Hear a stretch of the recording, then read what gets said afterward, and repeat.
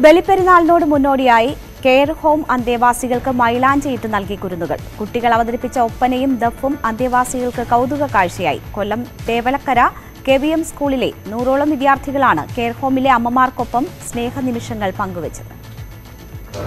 സന്തോഷത്തിന്റെതാണ്. നിരാശ്രയത്വത്തിന്റെ കണ്ണീർ നനവ് ഈ കുരുന്നുകൾ സ്നേഹം കൊണ്ട് വറ്റിച്ചു കളഞ്ഞു. അമ്മമാരുടെ കൈകളിൽ മൈലാഞ്ചി ചിത്രങ്ങൾ തെളിഞ്ഞു.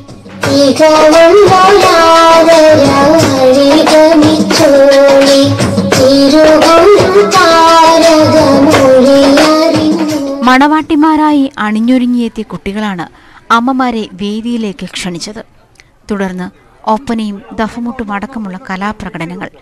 പിന്നാലെ രുചികരമായ ഭക്ഷണവും വിളമ്പിയതാകട്ടെ കുട്ടികളും. വീട്ടിലുള്ള പ്രായമായവരെ എന്നും ചേർത്തു പിടിക്കണമെന്ന് പെരുന്നാൾ സന്ദേശമായി Angels Valley director Hafiz Shafeeq Jauhari പറഞ്ഞു.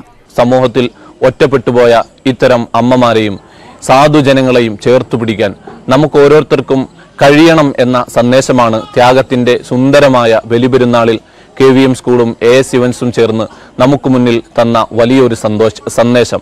വിദ്യാർത്ഥികളിൽ സമൂഹത്തോടും മാതാപിതാക്കളോടും സ്നേഹവും പ്രതിബദ്ധതയും ഉണ്ടാക്കിയെടുക്കുക എന്ന ലക്ഷ്യത്തോടെയാണ് പരിപാടിക്ക് രൂപം നൽകിയതെന്ന് പ്രോഗ്രാം കോർഡിനേറ്റർ അൻസാർ റഷീദ് പറഞ്ഞു. നൂറോളം കുട്ടികൾക്ക് പുറമെ അധ്യാപകരും ഏഞ്ചൽസ് വാലി അധികൃതരും പരിപാടിയിൽ പങ്കാളികളായി. സന്തോഷത്തിന്റെ ഒരു പകൽ സമ്മാനിച്ച കുട്ടികളെ നിറഞ്ഞ പുഞ്ചിരിയോടെയാണ് അമ്മമാർ യാത്രയാക്കിയത്.